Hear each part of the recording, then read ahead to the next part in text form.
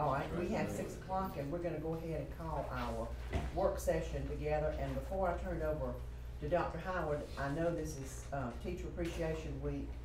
We are so blessed in Jackson County to have so many dedicated educators that do such an outstanding job, so I just wanted to publicly say for us board members, thank you, we appreciate what all of you are doing, so. All right, we'll turn it over to you, Dr. Thank you, Doc, uh, thank you very much, and I would like to second Ms. Wheeler's, uh, thank you to our teachers, and, and you probably or may not even know this, but it's also, um, Nurse Appreciation Week and school, Yes. uh, lunch service, I mean, our Yes. school Oh, nutrition okay, appreciation week, so bottom line is, we have amazing people invested in Jackson County student success, and so thanks to all of them, and we mean that sincerely, so. I have just a few comments before we'll get into the work, I do want to just make notice that, uh, Mr. Connick is not here today, he's with, um, his son, who's competing in a, um, an FFA event, and with him. And Mr. Clerici is at another meeting, is gonna join us as soon as he is finished with that engagement, so that will give, give us, we have a quorum now, and we don't have any action items, but just out of professional courtesy to let everybody know where those folks are, they'll be, uh, Mr. Clerici will be joining us. And I just wanna, um, remind you that Monday night's board meeting will be held, um, at Jackson County Comprehensive High School. We have all been watching the weather very closely for a multitude of reasons. This has been one of a very interesting weather season. Um, and so, right now, it looks like the weather's gonna be very pretty on Monday, and we plan to host our, um, retirement reception in the courtyard area outside of the auditorium. Weather permitting, if something goes awry, we're prepared to move it inside and have it inside the auditorium, but we do have our meeting, um, at six thirty, and we'll start the reception at five o'clock. We have twenty-six retirees, um, and we have eleven or twelve who have given more than twenty years of service to Jackson County Schools. So Wow. hundreds of years of service walking across that stage on Monday night. So we'll make sure that we honor those folks, and we're looking forward to that, as well as some great student achievements that we're gonna recognize, including our, uh, young authors and so forth. That agenda is already in the Simbli for your review, and so we'll highlight Jackson County and highlight our teachers and have a great evening.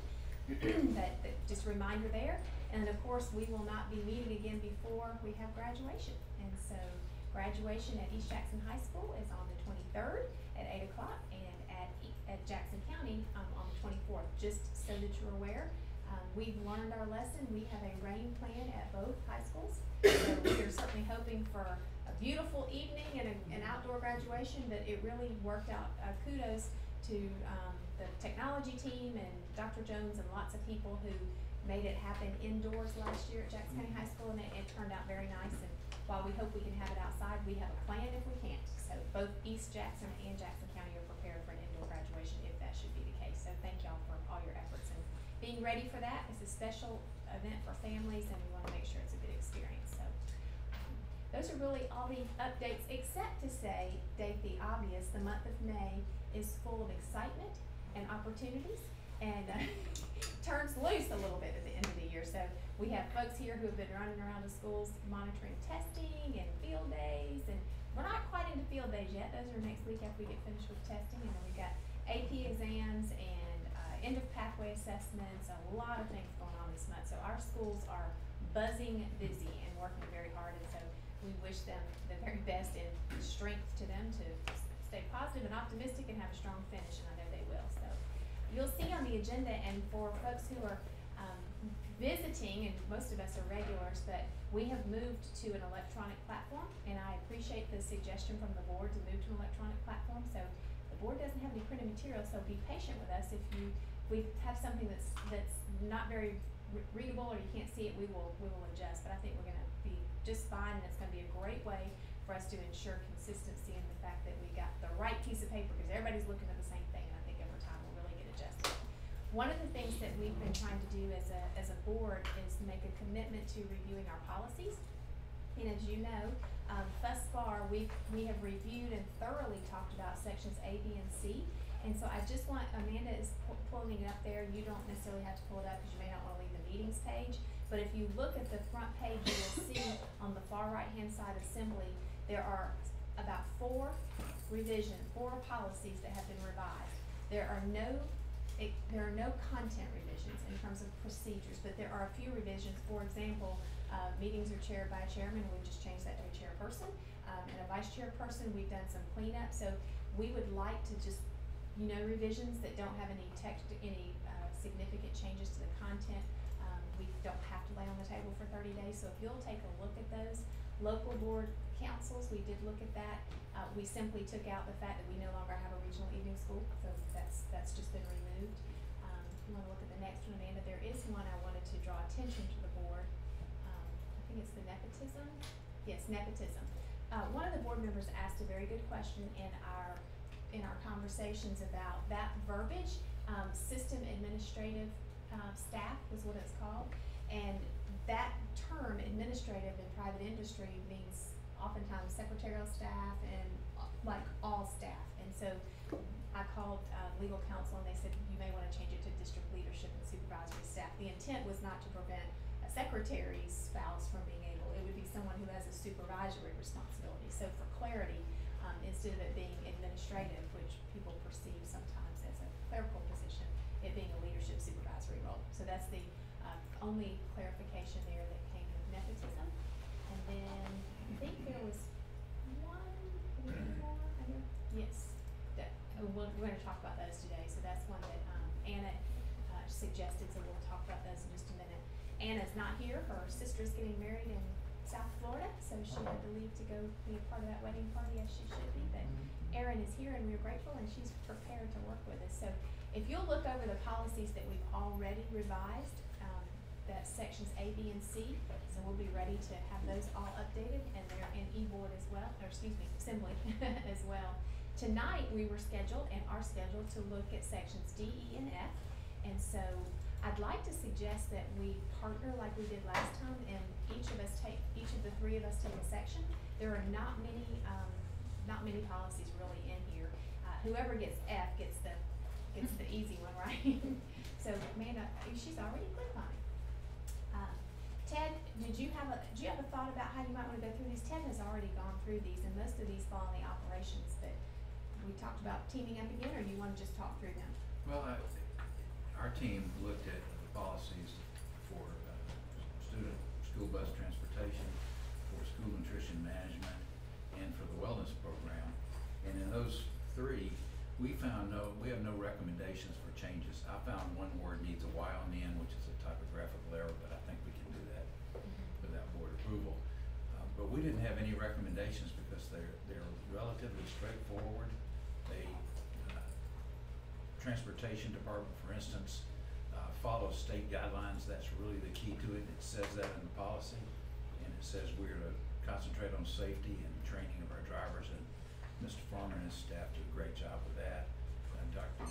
Morris has looked at the, uh, school nutrition management, and again, it, it has to follow very specifically federal and state guidelines, and we didn't have any recommendations there, so, uh, the wellness program, I think, also stands as it is, it's, it's, uh, put together well, we just need to implement a little bit more, um, in that structure, but no changes to the process itself.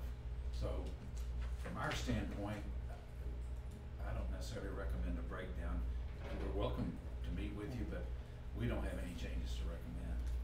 Seems like it covers everything pretty well. Uh, you were saying we need to implement something else, what else do you think? we In the need to wellness expand? program, we, Yeah. we are doing a lot with health and wellness across the district. Um, but in terms of meeting the specifics of this policy, I think we just need to, uh, bring a few stakeholders in that we haven't had before. Mhm. Uh, over this past year, we had a number that moved away, Uh, and so yeah. they aren't in the district anymore, so we just need to restructure that. And our goal is to do that at our operations retreat on June twelfth, um, kind of in combination with safety committees. So, one of the biggest respon there are many big responsibilities of being a board member, we've already taxed your time a lot, but one of the biggest responsibilities, as you know, is the fiduciary responsibility. So section D is primarily budget items, so I think it might be worthwhile if you, if we could click through those and just make sure. DC is the annual operating budget, there's very little there, but do understand that, that there's, your level of budgetary control is explained there. And Aaron, if you have any insight that you wanna share, you please share, okay? Um, we follow those policies clearly, and you know that you see the, the budget, um, at these levels, you see it at fund, function, and object level, and we control it at that, um, that level here, so. And at any given time, I have to tell you that there's a whole lot more supporting documentation that goes with the budget, as you know, and at any time, Aaron and Anna are happy to share that with you. We don't give you everything, cause if we did, with all object codes, it would be hundreds of pages. But at any time, if you're interested about any specific program, you're welcome to come and see that, so that's, uh, DC. DCL is fund balance, and I won't read that to you, um, but I think that's, quite frankly, we've done a really, really good job, and it clearly says that we have a responsibility to keep financial stabilization and to ensure that we, um, have a restricted number of dollars to, for certain, um, areas, and, and we do that, and you'll be happy when sh- when Aaron gets to share our, if, if you've not already looked at where we are right now in terms of our accumulated fund balance, so I don't see, and Anna has read all of these, Aaron has reviewed them, there are no changes, but I think it's important for new board members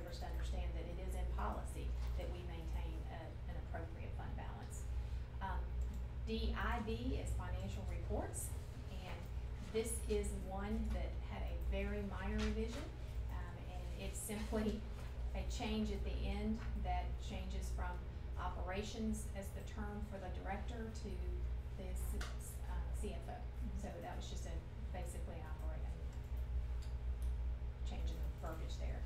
But you can see, um, pretty clear explanation in what you have said in terms of read pretty carefully, DIB is one that I would take some time to, to read over and um, there's some questions that you have. Uh, for example, surplus and depreciation of fixed assets, those kinds of things that you probably want to be relatively knowledgeable of, so. Um, and we'll take any questions that you have, that you may wanna read over it first, and then if you have any questions, come back, uh, to us. And then, um, DK is a student activities account, and that, um, is school-based accounting. So if you wanna speak to that at all, Erin? So the schools have their own set of books and bank accounts that they operate with, and that's what's referred to in this, and it is separate from ours. We don't Completely Tell them how to spend it, they, you know, the mo- purpose of- for the money's collected is how they are supposed to spend it. We- We support them and help them follow policies and learn new ones as they grow, um, but it is the principal's discretion, it's not ours. And those accounts are audited as well on an annual basis, and they do, they do random, I mean, they audit all of them, but then they do it more in depth on random schools periodically, so we, we make sure we have an audit system in place for school-based accounting as well. Should we add, uh, he and she on that third line down? He shall, I think, absolutely. Amanda, do you got, oh, here, I just don't have a, let's help me remember that, we'll make a note of that, DK, um, or anybody. Yeah, cause the last revision on this was two thousand four. We got some shoes now. We do. All right, very good. So that's those particular uh, policies. And um, if you have any questions, again, we can lay these on the table till June. In June, we'll be beginning our work with personnel policies, in section G. And those are, there's a lot of those, and those are a little more heavy lifting and. Bring a snack. I didn't do Yeah, I was that. glad we didn't have that one tonight too, when I was looking over this. There's the last one, um, Ted, do you wanna speak to the last one? I'll be glad to. No, but yes, right? It's the non-controversial naming of a school. Yeah. So, uh, if you look above, behind your, on your, your uh, devices, you'll see that essentially the Board of Education has a sole responsibility to name just about anything, and I think the intent is just that, whether it's a building, a stadium, uh, even a room. Uh, So we are, as, as you know, moving forward pretty rapidly with the new high school, and we will need to establish sooner than later a name. Other than new high school. Yes. Right now, it's New high. West High School because that's what the architect put on the plans, but it's, it's just a descriptor. So, uh, but there's lots that we have to go through the process from, uh, logos and colors and whether it's a gym floor, whether it's a sign out front, signage throughout, it's very important, so. Can't really finish the design until we Exactly. have a name. So we probably need to do that in the next month. Next month. Next if hour we're- or so. Did you say how? Yeah. I, I think it goes Yeah. without saying that this can be a little bit of a, um, that it's an opportunity, but it can be, everybody has a different opinion, right? And, um, I I'm open to whatever the board is, it wants to do. One thing that we know happened with the naming of East Jackson High School was a little bit of community involvement and conversation. Um, I think you all need to decide whether or not, we battered around the idea of limiting it to the three or four that were brainstormed at the, re- do you remember our Mhm. retreat I do, two years yeah. ago?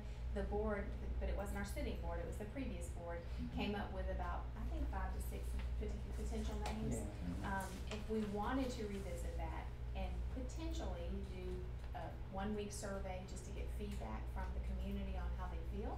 Um, the other options for the board just to, to go into a conversation and decide what you wanna name it.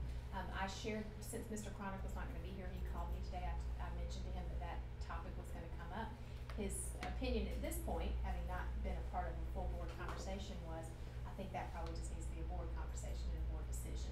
So I do think it's something, um, that we need to talk about, um, and maybe you all can help me walk through that. The other piece of it to be thinking about, we have plenty of time for this, but as we build the Empower College and Career Center, if we are able and fortunate enough to get capital investments from large companies, might the board entertain the idea of there being a company name as a part of a lab? If they build that lab, that would be, that, that would be a naming issue, so we need to be thoughtful about how we move forward with capital investment and the naming of, of any part of the facility as well. So, uh, nothing we have to deal with right now in terms of power, but food for thought, we do need to get pretty, um, decisive on how we wanna handle the new facility off of Skelton Road. So I'll look to you, it might be something that we wanna discuss briefly, um, the board meeting or after the board meeting Monday, since Mr., since the whole board will be there. Um, and at least decide the next step so that by June, we can be ready to make a decision, so. Any thoughts, Mr. Holland or Miss England or Miss Wheeler on your general Uh, thinking there? Well, I think in order to, if it's, you know, if it's going to be a community, um, I think the community needs to be involved in it. At least, you know, I understand if we have some names already, we wanna steer them a little maybe, but I, I think it's important that they Have some input. have some input at least. Well, and I know when we had talked about this before, uh, you know, I mean, we're, we're actually moving Jackson County High School to the new facility, and there had even been some discussion about keeping that same name. Sure. We certainly want them to continue to be Panthers, you know, and if we change the name, I hadn't even thought about this until someone else mentioned it at the time, that it will change everything as far as athletics and the fine arts department, you know, if it's, um, Only uniforms for everything. yes, yes, and see, I hadn't even thought about that either. So, um, so anyway, I think we, we do need to have a little time talking about this. That, that's, that's good information to have. I hadn't Yeah, I mean, you know, they've got all this Yes. logo that's JC, you know, so. That would be, and all that stuff is pretty expensive to, to purchase, Mhm. and they have to raise the money to purchase those, we can't use taxpayer money for that. Mm. For So that would be an extra for going to camp and expense, all that, yeah. right. Yeah. I'm, I'm interested to hear what the, our two guys from that side Sure. say. Yeah, Yes, most exactly, definitely. exactly, yeah. So, Alright, so we'll, maybe we'll find some time after the board meeting, you know, Yeah. it's open meeting, whoever wants to stay can stay, and we'll put it on the agenda, I think we can talk about it, at least determine next steps, we won't necessarily be in a position to make any decision, but I appreciate you letting us bring that forward a little bit, we need, Yes. need to give the architects and the designers some, some clarity on that, Sure. so. And I didn't mean to delay it, we just were waiting for our board to get to a place that we were ready for all of us to be together. So, that helps us, I think that pretty much, um, if you will read through those policies, if you haven't already, if there's any additional questions that you have, we'll make that revision, and I've already made one small revision to CFO, and, uh, we'll just continue this process and look forward to Dr. Blankenship walking us through personnel in June, that'll be a, Yeah. Can't wait. Policy is not. Something to look forward to. That's right, it's not a lot of fun, but it's really, really important, especially when you find yourself trying to make a decision on something that could be, um, know, contentious. All right, leadership and performance, as we mentioned, we're right in the middle of testing season, so Mr. Johnson and Mr. Nicholson, um, I would be remiss, you probably are gonna do it, but I want to send a very special thank you to Martha and our technology team as well. Martha did a whole lot of administrative process, and technology has been exceptionally supportive. So thank y'all very much. I'll let you all speak to some of the preliminary MAP data, which is our own assessment system formatively. And, and I do want to uh, follow up your thanks with another thank you because not only has the testing been, and I, you always said, I don't believe in jinxing, but I you never want to say it—but but the process has, has improved substantially over time. But the fact that you also allowed us to kind of fast track the purchasing of those Chromebooks that I can say without jinxing anything, Rusty didn't have to, as he's, year, in years past, um, pack up Chromebooks, bring them to another school, I mean, it just makes things so much easier to, to the point where our schools actually had four or five extra Chromebooks per hall, so if a child had an issue, they could just grab the Chromebook, give the child the new Chromebook, and then, then our, our technology team could figure out the problem, so I mean, it was just seamless, and a few years ago, No. that wasn't an option, that Chromebook's not working, you're not taking the test right now. So thank you for that, it's gotten, um, it's really expedited our, our testing process and, and made it a little bit more relaxing in terms of taking that stress out. Uh, as Dr. Howard mentioned, we do have map data, we also have some milestones data that's coming in, but I'm gonna turn it over to Mr. Johnson to do the bars and diamonds presentation that, that I used to do years ago, and he is our map guru, so he's gonna give you a preliminary update with the understanding that in June, if not July, we will dig much more deeply into the performance, cause all this is, um, pretty early still. pretty early, and um, our school leaders just got access to the district-wide relative comparisons this week when we closed our map window last week. Um, adding on to what you said, Dr. Howard, uh, we're just very thankful to all of our leaders in the building, from the classroom uh, all the way up to the principals and the assistant principals and all those who uh, work with students and parents and kids and all their hard work these last couple of weeks. Uh, when you think about where we are right now, we've just closed out, um, tomorrow we'll finish up our end of grade assessments that we give K through eight. As a district, we've given right at, it's a little bit of an approximation, ten thousand end of grade tests, if you looked at those individually, and those all been facilitated on computers. Our, our students in grades three, four, and six and seven take the English language arts test, which is broken up into three parts, and then the math test, which is broken up into two parts.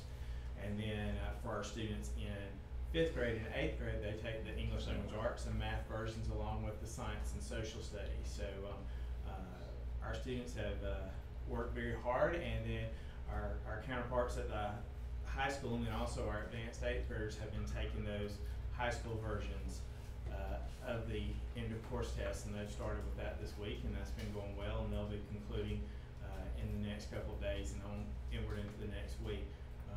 But our team has done a great job of supporting uh, buildings and school leaders, and uh, we're just going to get better. Uh, we did start getting some preliminary data coming in on science and social studies for our elementary and middle school students. Uh, we won't be able to share that until much later in the summer until uh, with the district uh, publicly with our stakeholders um, until the, it's no longer embargoed. But what we hope to is that as soon as next week, we'll start seeing the math and the language arts data. And once we get all that in, we've been in communication with our schools. We've sent them some sample letters that they can use to go ahead and send those scores home because many of our parents will want to know and the kids want to know. So we'll be communicating and can communicate with individual families. Um, and then uh, teachers are anxious to look and see what are their areas um, that they, they've seen a lot of success and then also those areas where they may need to focus on. And that leads us right into our map data. So this is a report, as Mr. Uh, Nicholson referred to, that we sometimes call our, our stars and bars. And Ms. Amanda, if you'll scroll it down for a second. And I just, we're gonna use this one to orient, and then we're gonna go back to the agenda, and we're gonna look at a side-by-side comparison of last year's data to this year's data. Um, what the diamond, that orange golden diamond represents for each grade level is based on their fall score. So for example, when we look at our kindergarten students right here, based on how they scored in fall, uh, they take the data nationwide and they look and see based on kindergarten's growth, this is how our students should have grown over the course of the year. And as you can see, the bar, that is actually how our students did perform in terms of their growth. So anytime our bar is well above that diamond, that means our students are growing at a faster rate than they were participating to. We've got several areas where you can see right here where our diamond, our bar exceeds our diamond, or is right there in line with it. Um, and that's one part of the story. Uh, what we can say right now as far as math is for the most part, district-wide kindergarten through eight, where we utilize math testing, our students are performing, if not right on track with where they are with the rest of the nation, or well above it. Um, and when we look at the side-by-side comparisons, uh, we'll, we'll talk about where we are now compared to where we were last year. If you'll scroll down real quick, Miss Amanda, um, when you look at reading, um, in kindergarten again, you'll notice that same trend that we saw with math. Um, in first grade, uh, we'll talk about this here in a second, we're a little bit beneath where our projection is, but we've also had a substantial change in our curriculum this year and been changing some things up. And, uh, we're digging in that deeper and we'll be working with our teachers. Right now, we don't wanna pull any teachers or leaders out of the building with them doing through the milestones testing, but looking, getting down to if there are any root causes. Um, when we look second, third, fifth grades, we see we're growing above that projected rate. And then in a couple of the other areas, we're gonna see that our, we're still not quite there where we are when we look at that national average for growth. And if you're going down to language arts, um, you're gonna see there's some places here where we've got some gaps that we've got to work on. But like I said, when you just look at it for one testing season and one testing administration, it doesn't let you kind of look at where were we to where we are right now. So if you'll go back to the agenda, and for everyone that's got your agenda pulled up online, I'm gonna ask that you click on this first document right here which says JCSS Spring Map Growth.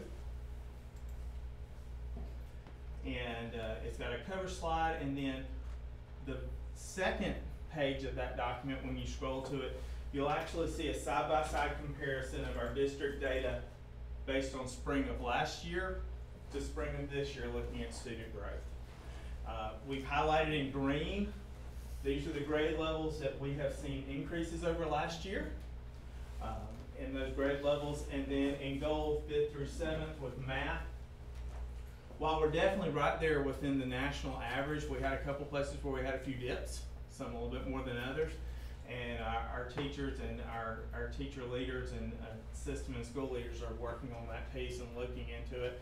The other thing we have to take into consideration too, is that these, this year's fifth graders were also last year's fourth graders. And you look, for example, where last year's fourth graders were as a cohort, they didn't meet. They weren't even, uh, they were well beneath their diamond as far as growth.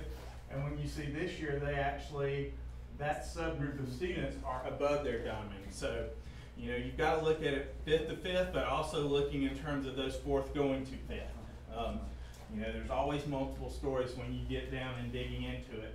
Um, but definitely, when you Well, look at how we That's perform. true of sixth grade too, isn't it? Yes, ma'am. Yes, ma'am.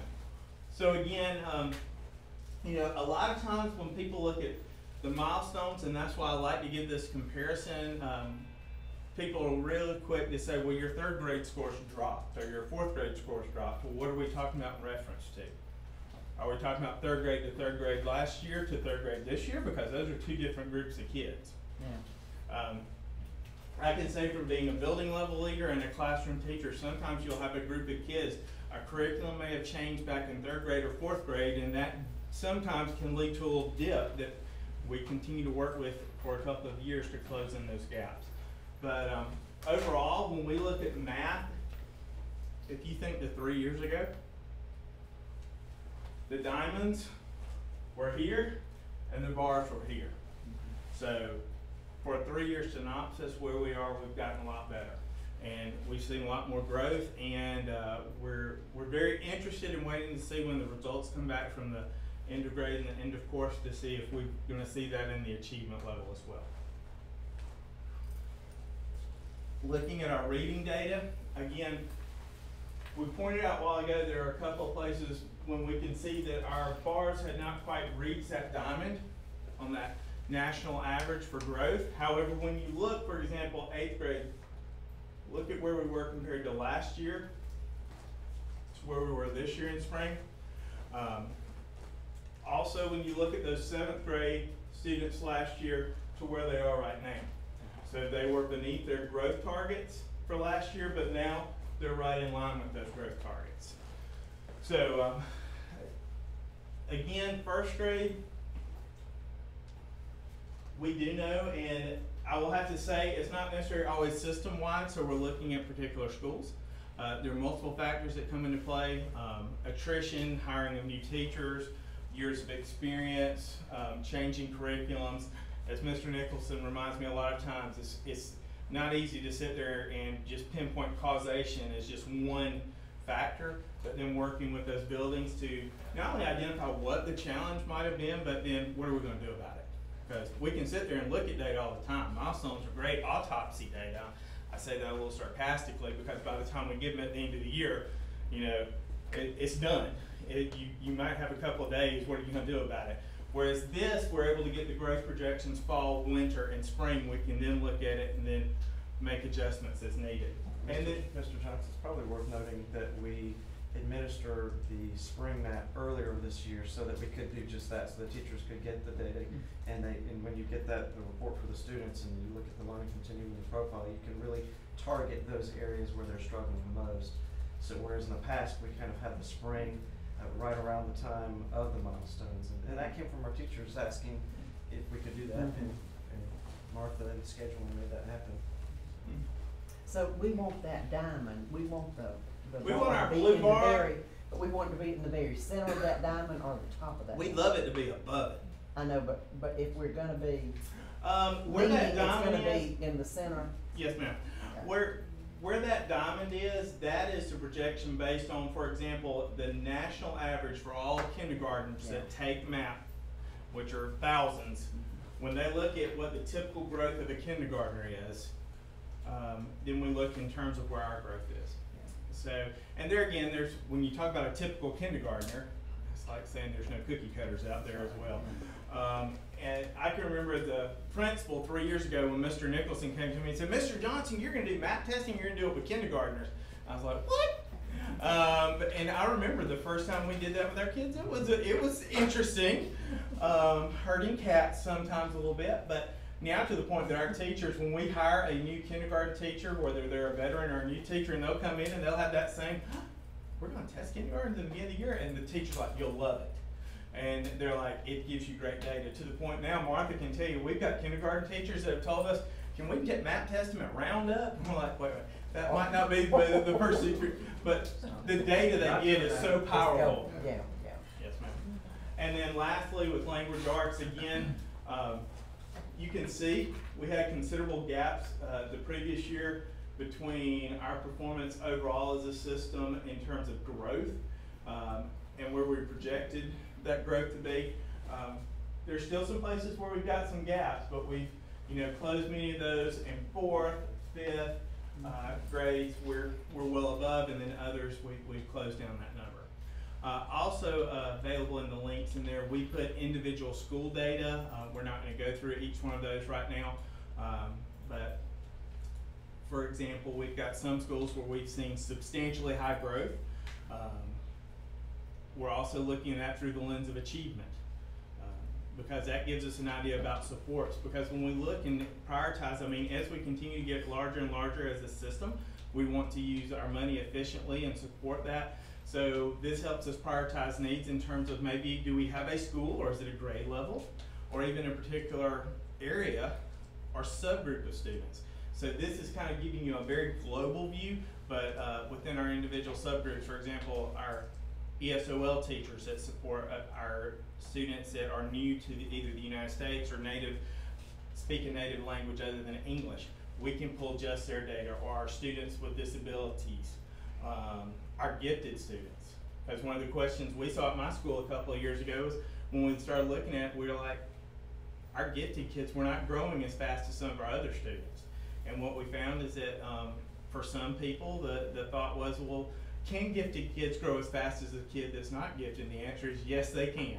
Um, and it's not as much of a gotcha for teachers. I think when we first went to it, there was still a little bit of skepticism out there, like, what are we measuring?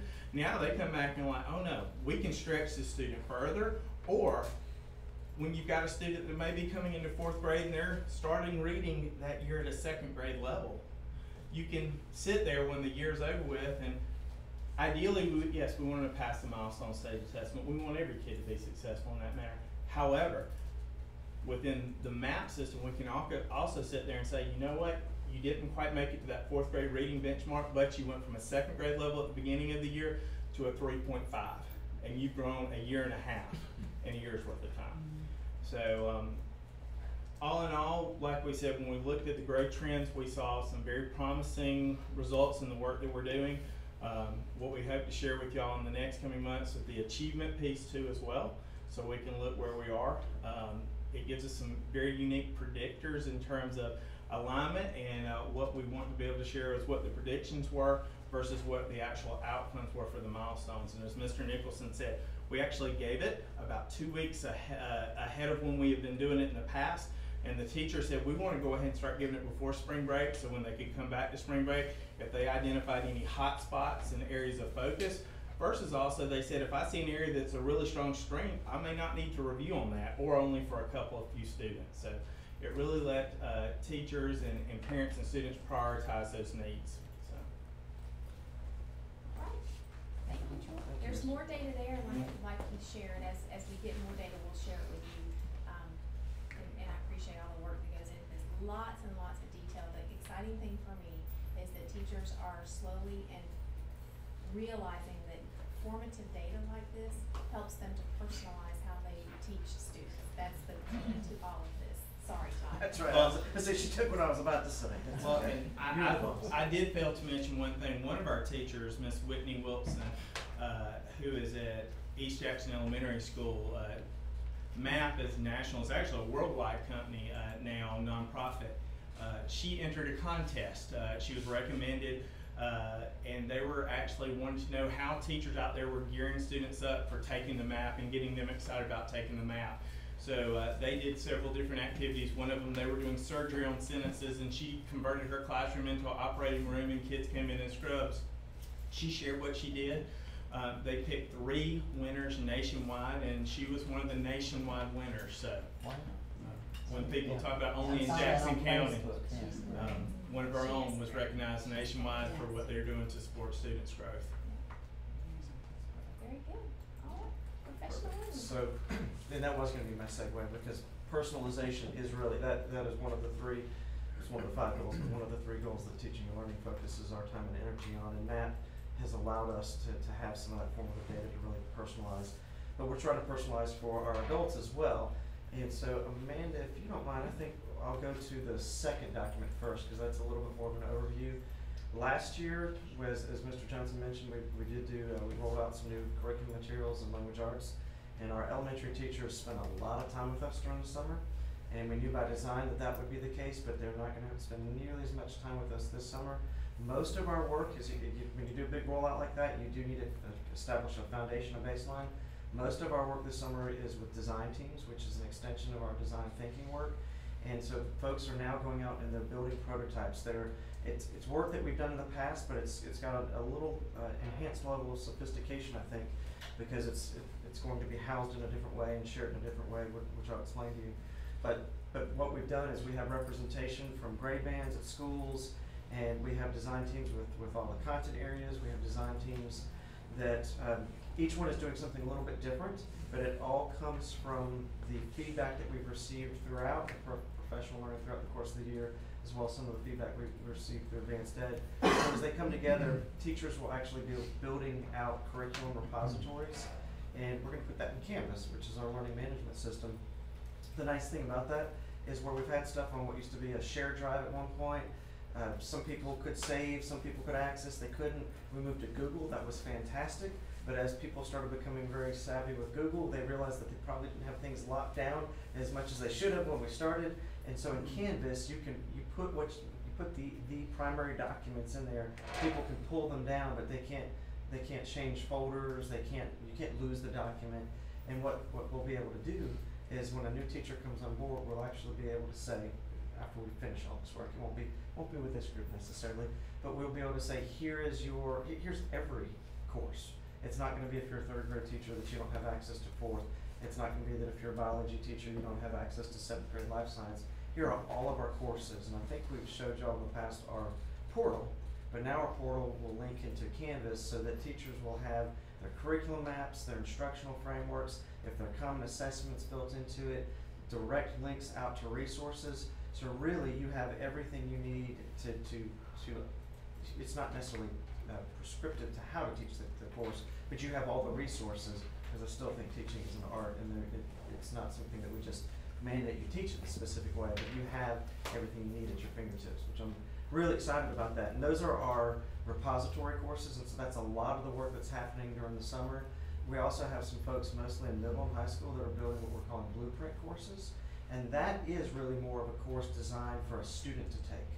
And, and part of that idea is that we, we need to start putting our courses in, so now that we're getting one-to-one at several of our schools, that that is an option. If a student wants to work at a slightly faster pace, if a student is at home due to a, an, an injury or a long-term illness, if a student wants to be able to have access to, to curriculum because they just, I mean, they know what they wanna do and they're driven, that we can start to remove the, the barriers of, of consistent time and place and having those being the, the, the factors that dictate how students learn.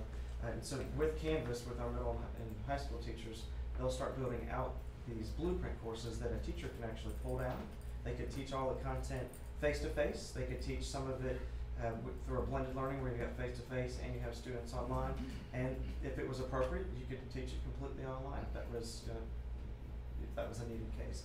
So we've been talking about our LMS for a while, but now that we actually have devices, uh, West Middle's one to one, South Jackson's one to one, Maysville is one to one, Jackson County High School is going to be one to one. And, and so Jackson County High School, we're, we're going to be doing a lot of pilot work there. What does that look like in high school? It's probably worth letting you know that, uh, unlike in middle school where you can come in, pick up your device at the end of the day, drop it off because your schedule is set up that way, that we have to explore and, and Mr. Summer and I are, are working through this with Dr. Johns. Does that mean students take home their devices? Because in high school, you don't, you don't start the day and end the day in the same place. And so we've got, uh, we've got a really awesome opportunity to work with Jackson County High School to figure that out. And eventually, all of our schools will be one-to-one, not even eventually, not, not too far. Very down the- soon, Very soon. So my point behind that too is that the professional learning this summer is very much personalized. There are, there are options for teachers. There's not nearly, there's really nothing that's mandated this year. It's, would you like some additional support with Fontes? Would you like some additional support with the things that we rolled out? And most of the work is, is bringing teacher, leaders, and experts together to build out curriculum resources. So that's the, that's one document. The other document is, again, personalizing as much as we can for new employees. We have new teacher orientation and you've got July dates that are right there before the school starts. But we've also provided some June dates, so as folks come and they, they go through the onboarding, if they're available on June seventeenth and eighteenth, they can go ahead and they can do a combination of June dates, all June dates, June and July dates. Because if you're new to teaching or new to Jackson County and, and you're coming on board, you've gotta learn all the new curriculum resources and, and how we do it in Jackson County and then how we, I do it at my particular school within Jackson County. It's kind of overwhelming.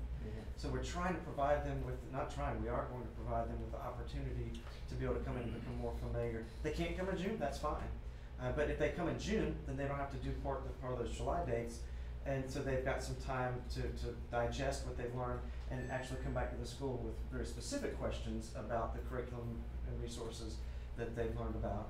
And so that, that's kind of a, a combination of what we've done, what we did last year as well. And, and we've been modifying this process the last couple of years, but I feel really good about it. And they, they get these dates when they come through on onboarding, and, um, so they have that opportunity. The other thing is that because there's two sets of dates and they meet, they meet, you know, our content specialists, they can do day one in June and do day Ju- uh, day two in July if need be, and then they can come back and ask that content specialist with very specific questions like, I listened to all that, but when I really dug into it, here's what I'm wondering now. So that they don't have to wait until school starts and they've got their counterparts. They have some opportunity with, with teaching and learning teams to do that during the summer. That's our, our overview for summer professional learning and our new teacher orientation. And that, I think, concludes everything from and learning, teaching learning. I just wanna reiterate to the board, um, if you're picking up here on the sense that our need to become more flexible with time and place is accelerating, I met with the Empower Board on Tuesday, they meet the first Tuesday of every month. And, um, they had a great meeting, but they were asking lots of great questions. And the reality is, our kids are going to a world that time and place is not fixed. So this Canvas platform, we've got kids that could very easily go into a US history class that's scheduled to be all long, all, all year long, but they may be finished with it November and December. So we've got to, pro- there, depending upon the child, and we're not encouraging kids to rush through anything, but we also have kids that walk into kindergarten, some can read on the third grade level and some don't know their letters. And so we ask our teachers to differentiate like that at the high school level, we're gonna have to start differentiating the same way so that kids understand that when they get into the world, there's a lot of flexibility and time and place. So we're just gonna have to continue to be open-minded about how we truly meet kids where they are and encourage them to move at their pace. Um, and it's gonna be exciting. It's gonna be challenging, but it's gonna be exciting. Well, likewise, the child who is, is struggling a little That's bit right, more, when you doesn't have it in rush. Canvas, you've got the course right there, so any other adult, any other colleague, anybody can still support, unlike the, you know, what is it that you're struggling with, I don't know. You can go and you, you can look specifically in the course, and, and that, that, that pace might be different than the, the That's pace right. that We don't somebody all that's- have to walk lockstep Exactly. at the same mm-hmm. time, 'cause they don't learn like that. It allows them learning at your pace, so we're excited about that. Definitely. Dr. Blankenship, human resources, it's not a busy season for human resources at all. We- But you've got great news. got great news. Um, we have, I, I don't have the latest total in front of me, um, of, of how many we have hired, and I gave you an update on that last, um, last month, but the, the more important piece is that as of today, we only have about seven positions left to fill, and we have three or four of those in progress, so, um, keeping our fingers crossed, if we, you know, have no more resignations, we should be finished with our hiring, uh, very, very soon. So And that, some hard to fill, s- but I mean, Some like really hard to adaptive fill special needs positions, and yes, health sciences, um, I mean, we've got some Mhm. really good people for some Yeah, really yeah. difficult positions to we, fill. we do, and, um, I, I am very excited about our new hires. We have a, a very nice mix of new teachers, veteran teachers, uh, who are coming to us with some great experiences, phenomenal recommendations from their previous schools. You know, you always want to hear when you call for a reference, we're heartbroken that we're losing this teacher, you know, because you know that they, they've been good for kids. Sure. Um, So, we're very excited about that. We've had our first onboarding session, uh, with the first twenty or so, um, new employees and Very unique day. yeah, on a very unique day. They April are the, 19th. They are the, the only and hopefully only ever group that can say that they came in and experienced a, a tornado warning and it wasn't a drill, so. We were they- all they were up in here. David's office. Yep, we took them all back to the, you know, we followed our Bus shop. protocols, so I said, you know, now, when, when you go to your school and people are saying, why do we have to do these drills, you can say, I know why, let me tell you about onboarding. So, um, it, but they were all good sports, it was a, a, a great experience, and our HR staff here does a tremendous job of, of helping those, uh, employees understand what their, um, their benefits and payroll and contracts and all, all of those things, um, look like. So, we have, our next two sessions are on May twenty-third, so that's a busy, busy day because we'll have an onboarding session in the morning, an onboarding session in the afternoon, and graduation in the evening. So, um, so I'm gonna eat my Wheaties that day. That's right. Um, so I'll, I'll walk you through some of this information that we have here, and I, I, I'm kind of excited because I usually don't get to talk a whole lot, I feel like I've got a lot to talk about this month. Um, our enrollment overview, I won't say much other than to say we're, you know, we've stayed, uh, we've had a healthy, um, enrollment all year long, it's stayed pretty steady, we saw some increases at the beginning of the year, we're up about three and a half percent, um, over the year. And, uh, the majority of that came at the beginning of the year. I am, um, a little anxious about what the beginning of this next year will look like, uh, based on the, uh, the growth that we know that's happening in all of the construction in, in, uh, our West Jackson area, so, uh, we're gonna, Ted and I are, are partnering and working very closely on, on those numbers, so, uh. And North Jackson, eh, Yeah, well, that, that whole. yeah, that whole, the zone whole area. west zone, yes. Yes, yes, yes, yes, yes. Um, Yes, so, um, so North Jackson really is probably our biggest concern, cause right now that's our fastest growing school. Uh, they are our smallest, so when you look at, you know, percentage wise, it, even if they grow just a little bit, they're, they're growing Yeah. fast, so we'll keep our eyes on that and we certainly will, um, come to you if we see any, um, urgent needs, uh, in any areas, but we are, um, we're watching that closely. Um, we also have the attendance update and North Jackson, again, not only are they fast growing, they also come to school, so they have the highest, um, percentage of attendance for this, uh, month of April. Dr. B, if I could interject there, I think that's a very deliberate effort that they've made, Mhm. Mm-hmm. and I, and kudos to It Jackson is. leadership and teachers, cause they, they, were not here last year, but they put some things in place and it's paid off, so it's exciting for them. Absolutely, absolutely. Um, our, next we have, um, as I mentioned, we've done a lot of hiring, um, and so we have a lot of recommendations for you to, uh, consider, uh, for this, um, for your approval.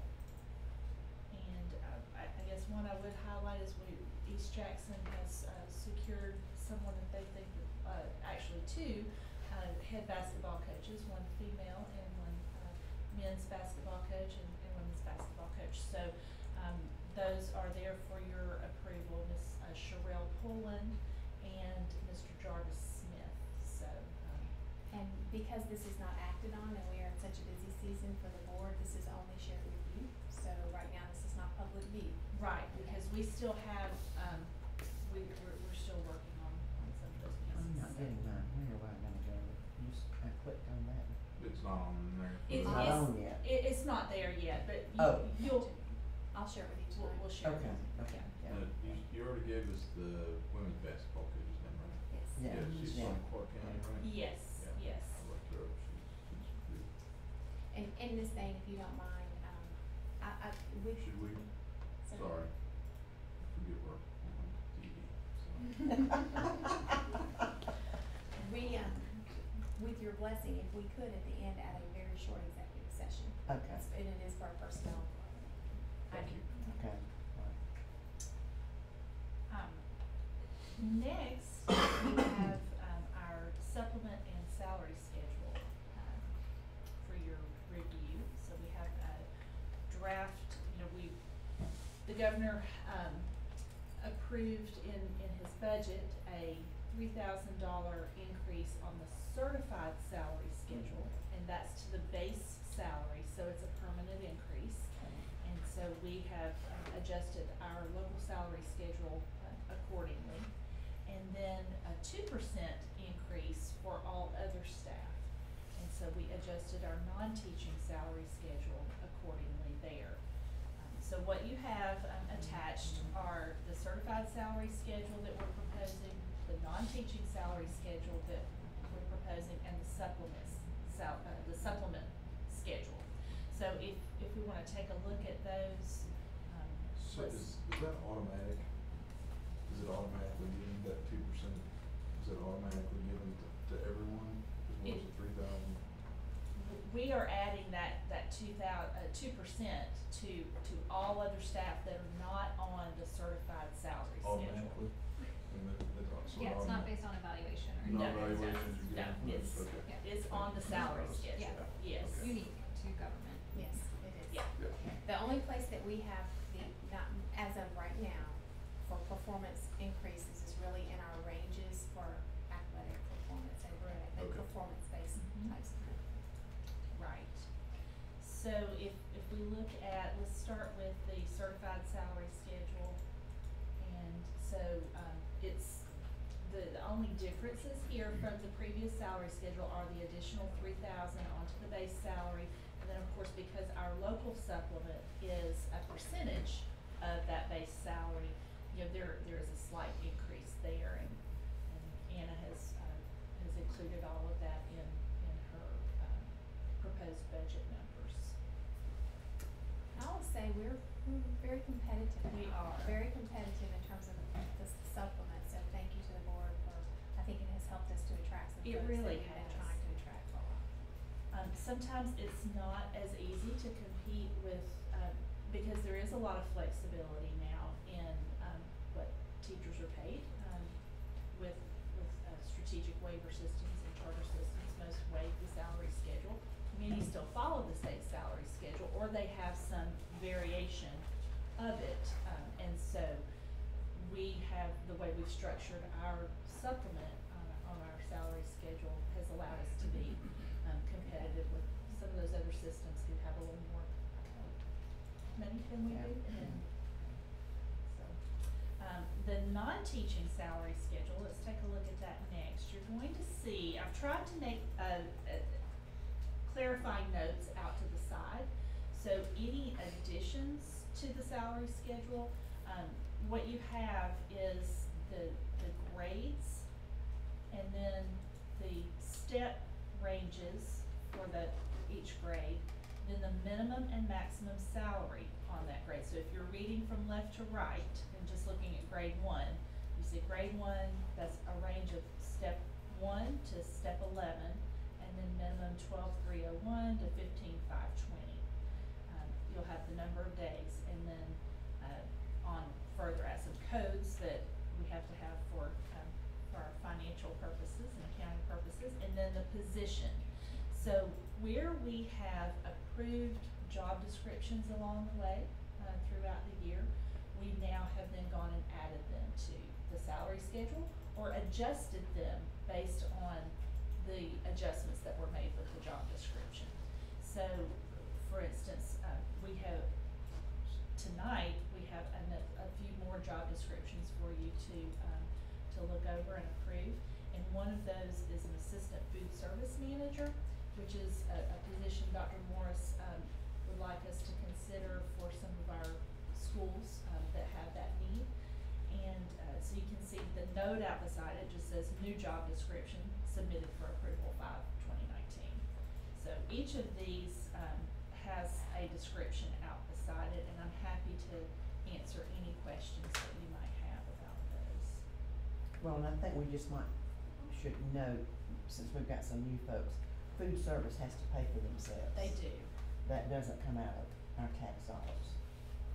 it's Um, self-sustaining. Yeah, they have to provide. Okay, so, alright, Does that make sense? it does. So, while that, the, um, so state reimburses for, okay, yeah. Mhm. They get USDA food services, and so they, Dr. Morris is, Okay. she's definitely the master of that, she Yes. speak to it, but they are self-sustaining. Okay. And then, um, finally, our supplement schedule that we are recommending, that we, we've collaborated with our, um, our principals and athletic directors to, uh, to really, uh, review our supplement schedule, make sure that we are competitive, um, with, with our surrounding, uh, counties, with their, Is there much change in this one from the one from, there's from like last year? There's not a lot of changes, the, in fact,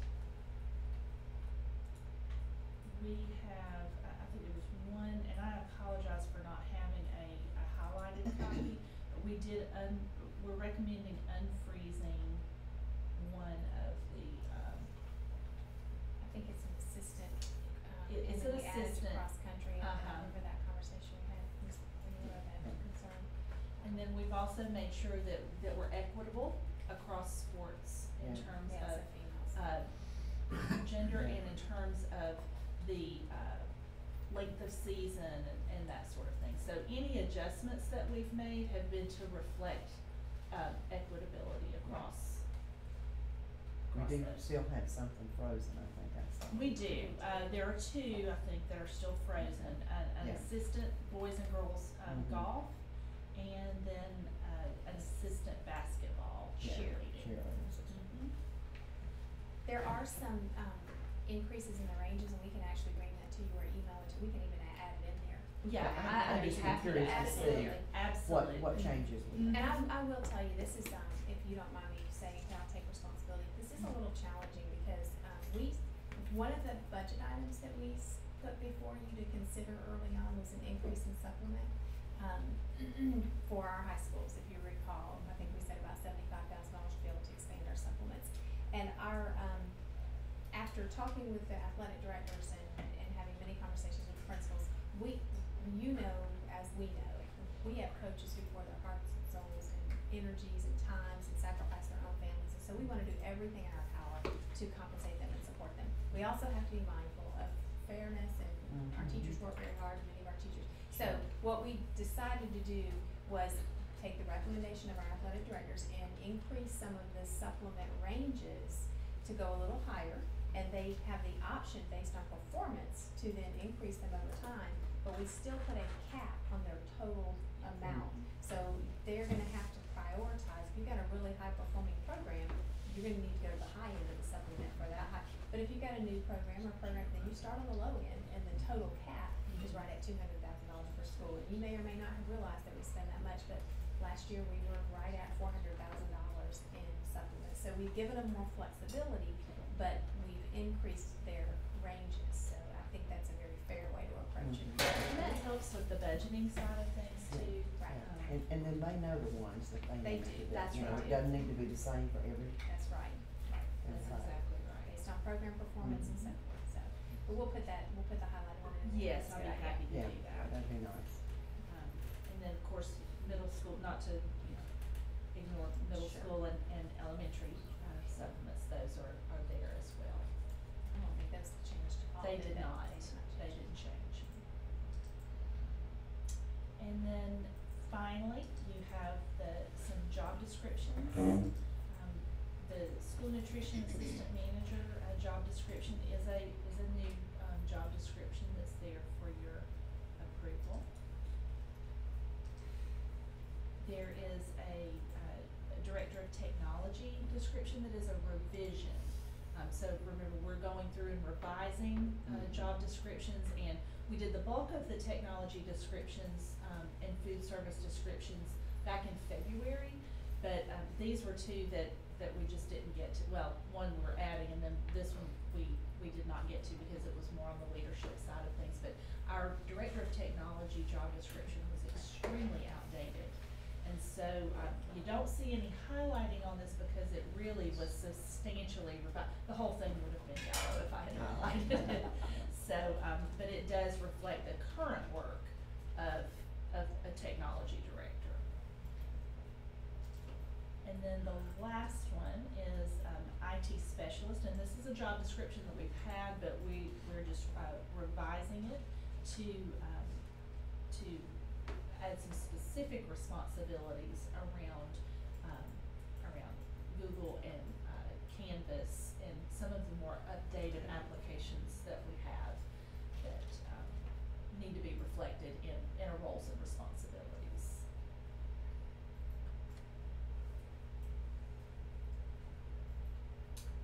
So I'll be happy to answer any questions if you, um, have those, if you, if you think of anything and wanna give me a, a call, I'm happy to with you, and I think that's all I have, good, thank you, been busy, busy, busy, it's exciting.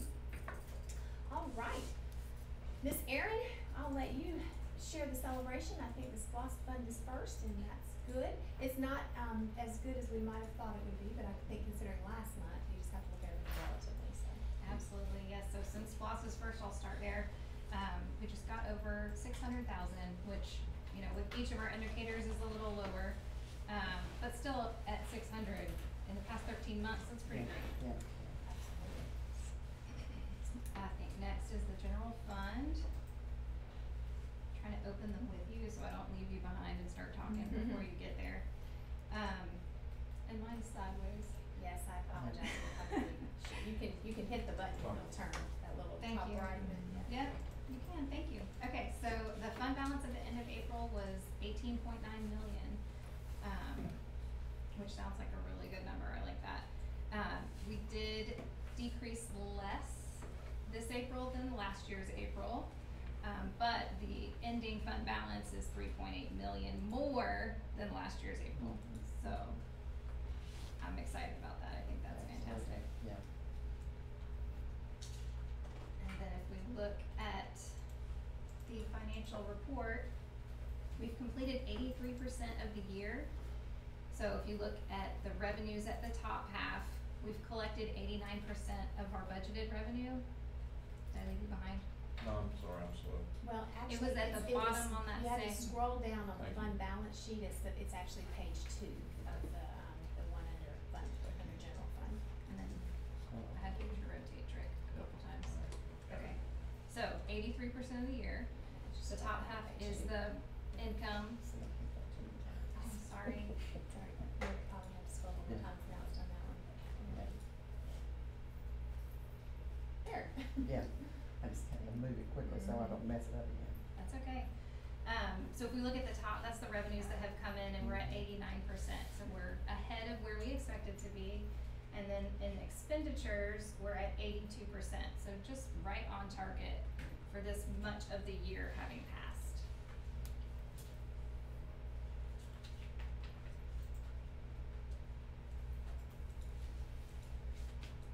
I think I hit all my high points. Do you guys have any questions for me? I don't so, it looks mighty good, though.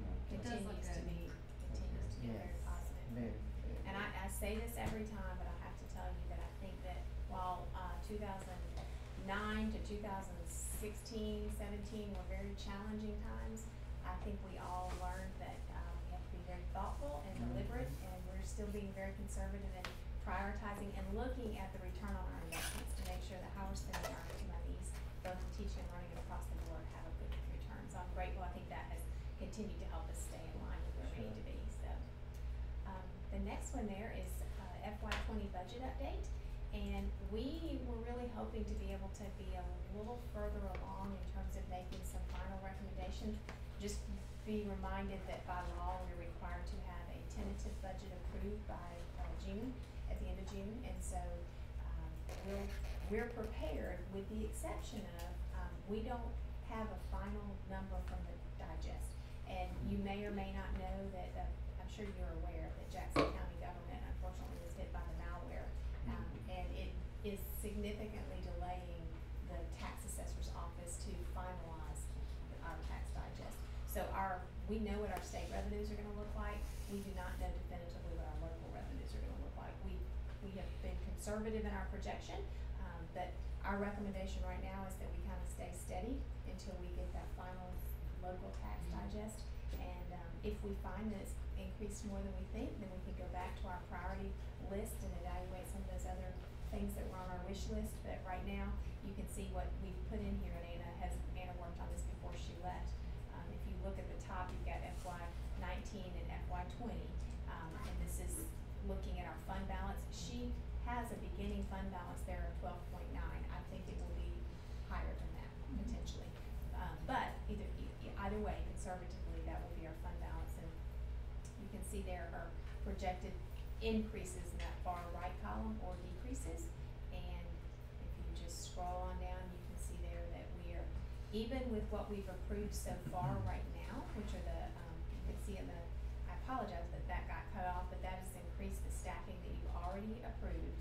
Then the additional, um, positions for the TRS and how all of that is impacted with the raise. So the raise is a portion of that. We get some T and E money back from that from the state, but of course there are exponential employer side costs that we will incur. So those are all budgeted in there, and you can see there that we still end next year at, uh, twelve point nine, so we, really don't dip into our fund balance at this point, but we break even. We're not, we're not accruing any more fund balance at this point. Below that, you can see the additional positions that were requested that we have not done anything with, that we're just letting sit there, um, until we know a little bit more about the, the digest. And at that point, we can decide from those additional personnel, as well as some of the non-personnel budget requests, which of those we may be able to fund and how we'll Are they giving you any projections when we might hear, that, that they might have that information for us? I think the last time Anna spoke with him, he said he didn't think it would be anytime soon. Oh, So we normally, Yeah, they're going through a tough time. yeah, ma'am.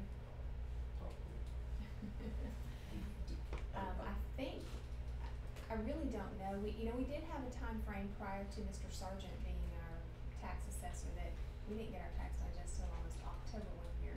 We, it's gotten so much better and they've worked so hard and we thank them for that. This is a scenario that is just beyond their Yeah. control, so I think they're working as feverishly as they can, um, to, to make that right. Um, we normally, and we expect usually to hear by late April, and then we rebuild and be ready for May, but I think it'll probably be June or July before we get that. So we may not be in a position to, um, but that's why it's a tentative budget anyway, right, it doesn't have to be, but we don't wanna spend more than we're gonna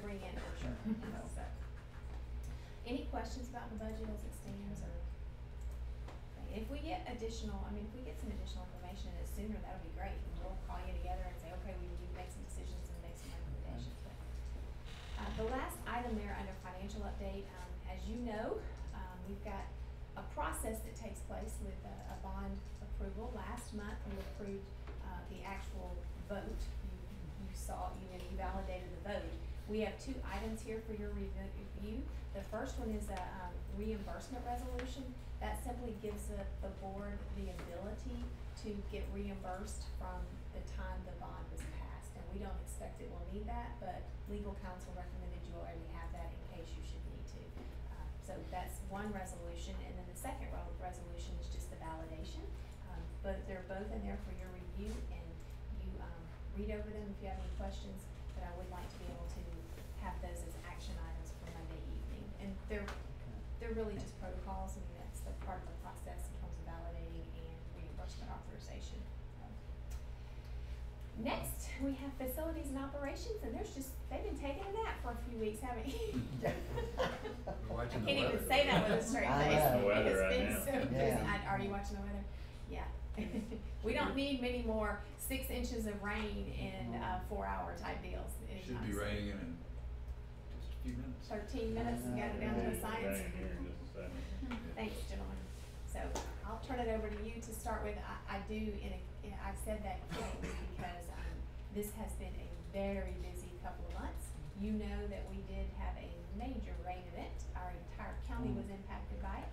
And all things considered, that site held up very well. There, there, it really did, especially considering the amount of rain that we had. We do have a few areas that we're mitigating, um, but to be expected, and we're working with Gina Roy and the planning division and everyone that's on, you know, a part of it, so we, uh, look forward to next steps, so I'll turn it over, West Middle update and high school update. Uh, I'll mention too, just in light of that, that our consultants are there virtually every day. Um, Geo Hydro is there every day. Our, uh, construction administrator with Southern A and E is there two to three times a week right now. Our civil engineer spent two days, uh, yesterday or the day before, all day. So, um, lots and lots of activity trying to watch and make sure we correct on site everything that we can. Uh, when you open up seventy-five acres, uh, and we're a mound, it's gonna go downhill, so, but we're, uh, we're working pretty hard at that. Uh, and talking to Mr. Clerici one day not too long ago, he suggested that a monthly project report might be helpful, uh, for the board. So I prepared one, uh, for this meeting tonight. It's, it's, uh, essentially as of, some things as of today, the finances are as of March thirty-one, which is the last pay request, pay application that we approved. But I, I would, um, appreciate your feedback, not tonight, but as you go through it and think about it. Uh, if this is helpful for you, if there's things that aren't in there that you'd rather see, uh, this would be a first time, it's similar to what I've done in the past. And what you'll have is a, some notes on current construction, some notes on future construction. You'll see on page three, a monthly funding report. This is on the high school, it, it accounts for everything that we have financially in place right now.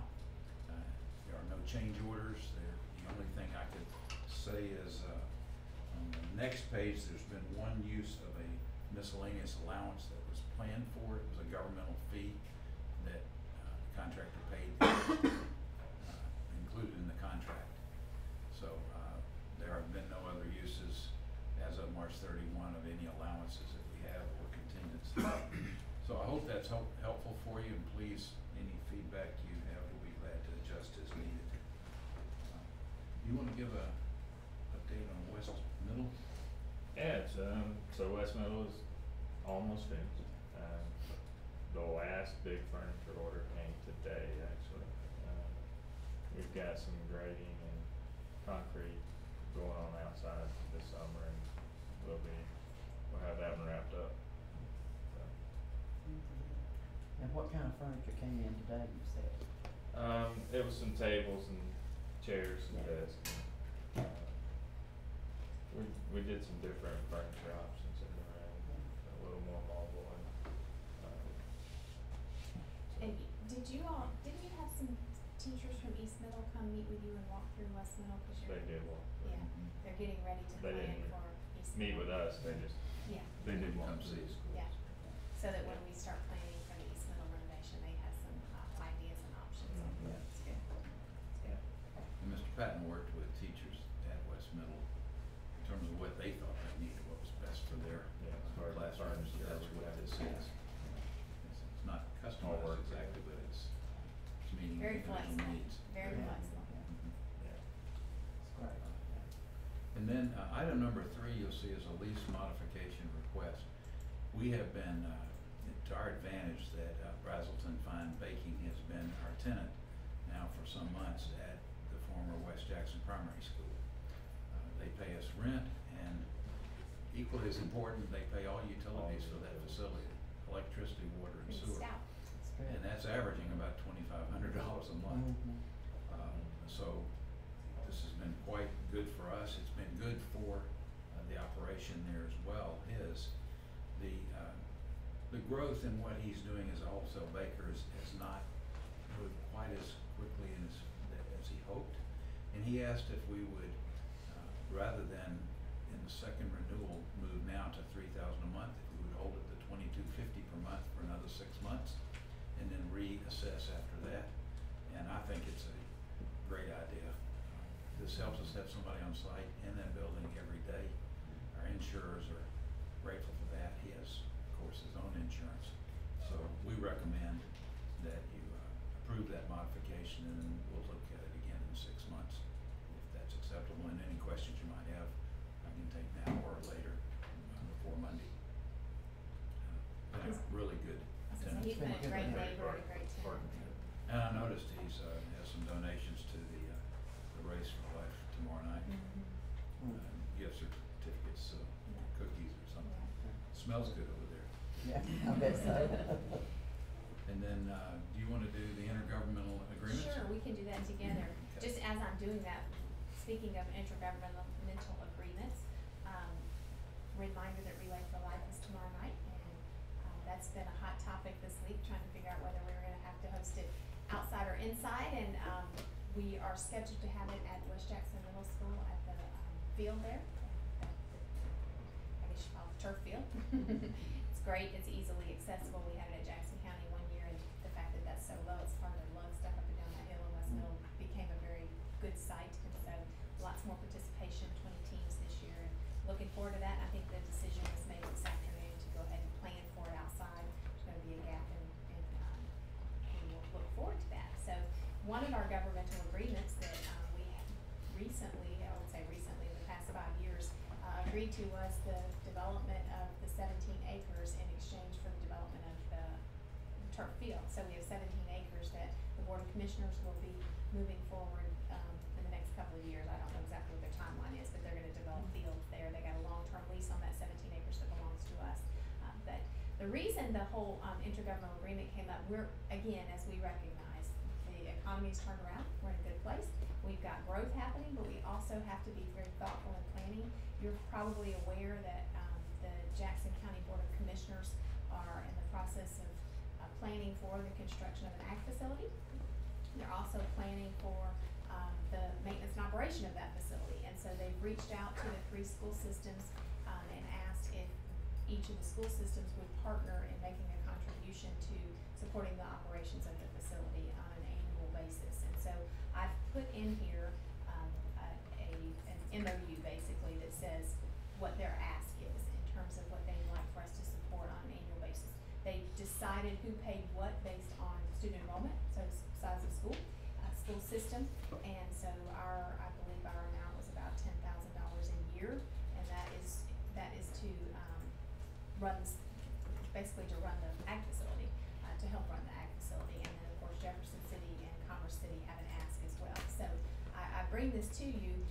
For your consideration. Um, but I also felt like it was important that we all be reminded, um, welcome, sir. Um, we all be, and I might ask Todd if you can make sure he can access his once he gets to we be in consideration of all of the partnerships that exist. So Ted, um, Ted and Josh, um, went through our agreements, and I don't think I have it in here, do I not? Yeah, there it is. Just there. Yeah, it is, thank you, sir. The second um, you will see the agreements that we presently have with the board of, and we reference the board of commissioners, but that includes anyone who falls under the board of commissioners, like the rec department. The rec department falls under the board of commissioners, um, oversight. So you can see there the agreements that we have, the date that those were established, when the terms are and when they're up for renewal, um, and approximately what they cost the school district and or, um, the, the rec department. This is a high-level overview so that you could see, um, I think it's important that the board be aware, for our new board members especially, that, um, we do have a strong partnership with the rec department. And Jackson County Schools facilities really are the rec department in terms of gyms. And, um, we, as you know, we partnered with them so that Gordon Street's gym is now a part of their, lack of a better word, inventory.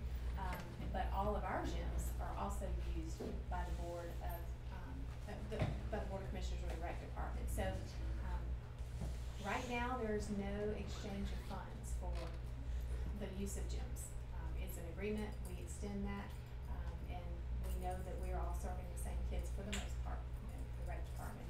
But I wanted you to be aware of what they're presently using our facilities for, and we presume that they'll be using their facilities. Now, we, we still have our ag barn, you know, right here, um, and, and it's certainly accommodates our needs immediately, but there will be increased needs, so I'd like for you to consider this MOU and the, uh, consideration for supporting the, um, maintenance and operation of that. But then I also think as a school system, we need to be mindful of, do we need to look at how we support the facilities in general, if that makes sense, so. Any questions, you can see there, it's, I think it, Ted did a great job of. Dr. Allen. Yes, sir. One quick clarification. On the, um, on that grounds maintenance where it says that JC, Jackson County does the ground maintenance, that would just be inside the fence. Uh, the whole seventeen the- acres. Field, no, it's The on bottom the, grid? on the bottom grid here, um, where it says they do the ground maintenance and that's, it, I didn't want anybody to be misled by that, cause all they do is inside the fence and it's just during the season that they're using Okay. Right. those. So any other time, we're doing all of that. And the gym floor refinish is a, essentially a sand and recoat, um, at about fifteen hundred dollars per time, uh, per year, I mean, from the two gyms. So it seemed appropriate that as we think about how we contribute to new facilities, that we just give you context of what's happening now. Uh, So every gym and a lot of fields are in use, which is a good thing. It's our kids. Yeah. Um, But, but you will, y- y- one, some of the, um, some of the m- most challenging conversations, to be honest with you, that we have, and rightfully so with our own folks, is how do we maintain our fields? Right. How, I mean, our own coaches are cutting the grass and they, they're, um, that, that, that is a piece that we really have to honestly cons- continue to consider because we do have a lot of fields that are used by a lot of folks. Um, but right now, for the most part, Jackson County School Board is paying to maintain all of that other than, um, the, the two fields that they, they help us with, as well as the resurfacing of all the other large gym floors that we do on a regular basis, so, um, I'd be interested in talking about options. Right, I think, we just need to look at it comprehensively, and it's, it's a good time to do that because we have new facilities coming online, and I think a revisit and a, and an understanding by all parties would be helpful, so. Um, we'll make sure, one of the things that I mentioned to Ms. Wheeler, um, and, and I have mentioned this to our county manager, Mr. Kevin Poe, they're very busy right now, as everybody, but in the fall, they have a, a retreat for the Board of Commissioners, and we'd like to do some preliminary planning between now and then, and have Board of Commissioners and Board of Education have a joint meeting, begin to really have some intergovernmental conversations as well, I think it's important, because we're overlapping in many, many areas, and more we can be efficient with, um, our community's dollars and investments and use them, the better off we'll be, so. That's just for you to have, and, um, you consider this agreement and, uh, we can, you can let me know how you feel about it and, uh, prior to Monday, whether or not you want it to be on the agenda or if you want us to hold off and talk about it, it's, that is completely your decision, so. What about the lease modification? We're gonna, For the West Jackson Primary School? yes, That would be, that an action item? It would be an action item on Monday, Okay. as long as that's something that you are willing to support. So Yes. if you've got some questions, let us know, otherwise it will be an action item. Okay. That's all we have. Yeah, that is all we have, so, um, Mr. Clerici, welcome, I apologize, we did get to the budget right before you texted and said you were headed this way, and I updated them that we are just. Texted and you put the pedal down to the metal and Was moved it- over. Just before, Perfect yes. Bo, Bo told me he was gonna filibuster and we're gonna get past item number one, so. I put my phone on silent, So, um, we did talk about the fact that we are, we don't have any more information today than we did when we met in April, because the tax digest, um, delay a little bit.